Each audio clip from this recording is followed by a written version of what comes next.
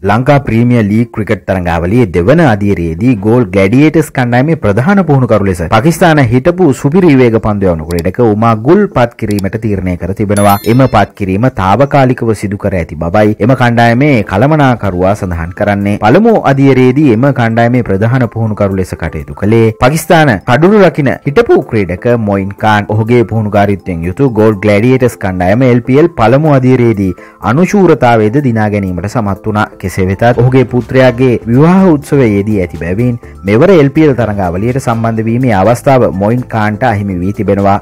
ඔහු වෙනුවට තාවකාලිකව ප්‍රධාන පුහුණුකරු ලෙස පත්කරනු උමා ගුල් පකිස්ාන සුපලීක් තරඟාවලියේ ක්‍රෙට්ටා ගලඩියේටස් කණ්ඩායමේ පන්දුවීමේ පුහුණුකරු ලෙස්ද කටයුතු කර තිබෙනවා. ලංකා ප්‍රමිය ලීක් තරඟාවලියේ දෙවනාදියර ලබන දෙසම්බර් පස්වනදා සිට විසිතුන්වනදා දක්වා කොළඹදී හා හම්බන්තොටදී පැවැත්වීමට නියමිතයි. චැනල් එක සබස්ක්‍රයිබ් කරන්න.